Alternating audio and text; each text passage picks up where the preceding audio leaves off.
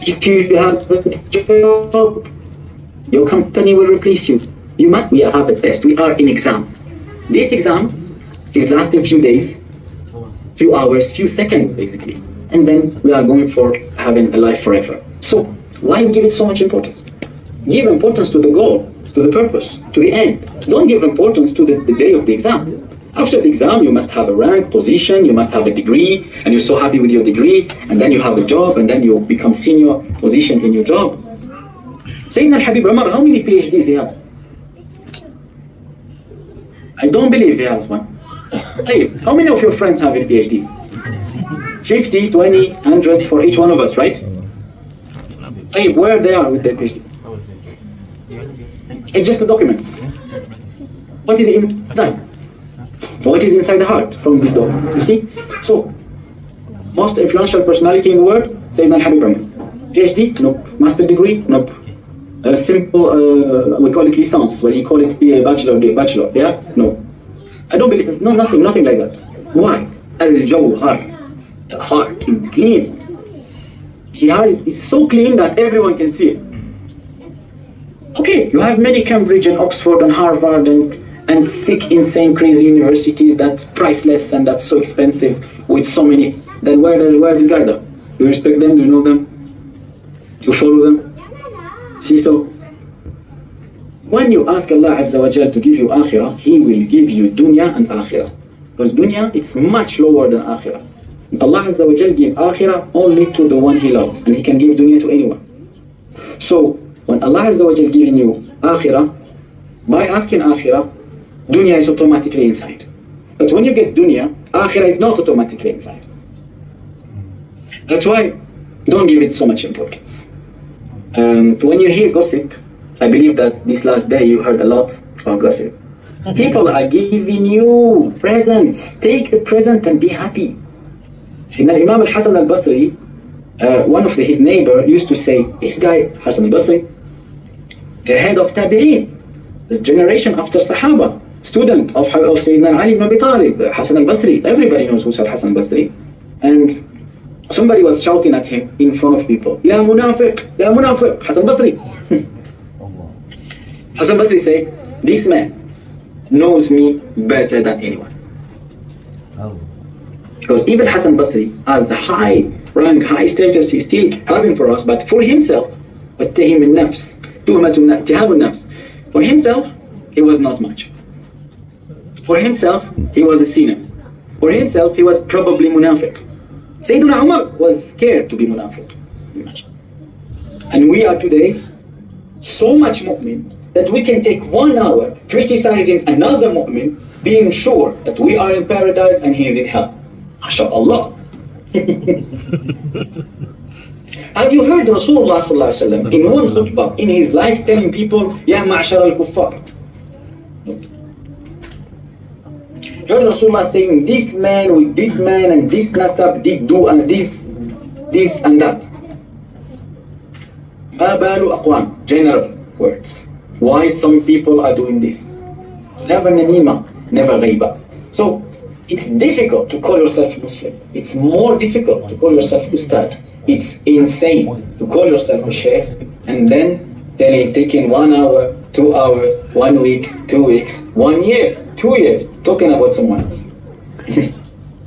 That's dangerous. It's supposed to be an example from Rasulullah behavior, you know, inspiring behavior from Rasulullah Of course, if you see a giant crazy bid'ah, like somebody calling for six prayers or, uh, instead of say, of five, or praying dhuhr five rak'at instead of four, or having a sick madhab that is asking for khawarij or asking for people to praise him or uh, claiming that he is a Mahdi, claiming he is Qutb Zaman, claiming he is something important. If you see all these claims, I understand.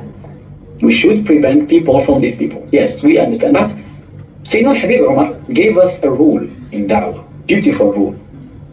He said to us, when you see somebody in Dawah that is shining, somebody that become famous, somebody that people love, somebody that people follow, if you feel something inside your heart, something, some heart, you know, if you feel something like the beginning of something moving, jealousy, has that or why he's doing that, why he's so high, why his name is so famous, why people are following him. If you start like that, tell yourself that you are not in da'wah. da'wah is not competition. If it's a competition, better be a singer and out of the story, better be a singer. and you don't claim and we don't have any problem. You decide that, mashallah. We don't say that all songs are haram. Of course, we from the Moroccan Andalusian school, uh, we don't have much problem with music anyway. And we have problems with some part of some instrument of music, yes. But in general, we don't have any problem with music. So the question here is not the fatwa. I'm not here to give fatwa. I'm a student, I'm not mufti, so I don't give any fatwa. And I'm trying to make the example closer, right? We are, as, as the people of that one, you're not actor. You're not in competition with anyone. So if you see somebody, Sayyidina Habib Umar said, and Sayyidina Umar is the faqih of the da'wah. Because if you read his book, uh, Tanbih, uh, Tanbih, you can see that he's understanding how to place the da'wah the right moment with the right people. The kampong is the kampong, the big city is the big city, the western world is the western world, the, the Arab Bedouin is not the Arab city center, and he explained how to reach the heart of people in the da'wah because if they love Rasulullah, they follow Rasulullah. So the faqih of the da'wah of our era is probably Sayyidina Habib Umar because he understanding the really how da'wah works. And that's why himself and his student are probably one of the most successful group of da'wah of our era. I mean, these 20 or 30 years from now. And he said that because if you feel jealous about da'wah or you have hasad about somebody, without any reason, just why is there, means you're not doing it for Allah Azza wa Jal. So where is your ikhlas, dear brother? Where is your ikhlas? Ikhlas to Allah Azza wa Jal. When you do something, you expect only Allah Azza wa Jal to be proud of you. Don't expect people to be proud of you. Of course, you expect your mother and father to be proud of you. In some, of course, you, you, you like your sheikh, your, your master, to say, yeah, you did well on this point. Yes, because min rida Allah, rida our masters, necessary. Of course, we believe that we love our, our master, and if they love us, it's kind of, we believe that may Allah love us. Probably. It's not sure. No, nothing is never sure.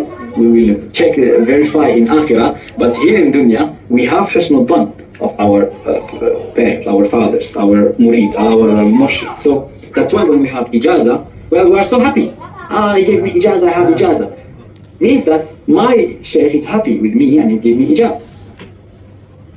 That's why, um, dear brothers, Sayyidina Habib Umar is saying that because in our era, unfortunately, Hasad al Aqran, people are doing the same things Ustad against Ustad, Sheikh against Sheikh. Um, they just scared that people uh, having are getting so much attention, and this attention they see it as a threat for them. Because this is not da'wah. Da'wah al. When I see somebody from Malaysia, India, China shining in Islam and having followers, I say, MashaAllah, that's plus for Islam. That's good for Islam. Because we are in the same team. I'm not Arab, you are not Malay. We are La ilaha illallah Muhammad Rasulullah, nothing else. Are they not, they will bury you in the grave with your passport? No, they cannot. Your passport will die the same day you die. Your passport don't exist anymore, it's just an old paper. Same for us. So that's why by loving Allah Azza wa loving Rasulullah, loving Ahlul Bayt, loving ulama al-Ummah, we should follow them. Sayyidina Imam al-Hassan entering the mosque of Rasulullah. So please understand where we are. We are in Medina. Sayyidina al-Hassan is born in Medina. We are in Masjid Rasulullah. His grandfather built the masjid himself with the Sahaba. He is the grandson of Rasulullah His mother, the favorite woman of all time, Fatima binti Muhammad. His father, the cousin and the family of Rasulullah, Ali ibn Abi Talib ibn Abdul Muttalib ibn Hashim. Himself, former Amir al-Mu'mineen. His father, Amir al-Mu'mineen. This man, people insulting him at the entrance of the mosque of the Prophet. Imagine. Ya al-Muslimin, you are one of the lowest of Islam. Hassan bin Ali, imagine the ridiculous situation. The son of Sayyidina al-Hassan, telling you should answer, should respond. Of course, the son is young, still not the same hikmah. He said, from when you knew that your father can, uh, you knew your father would reply or would respond or would um, insult people?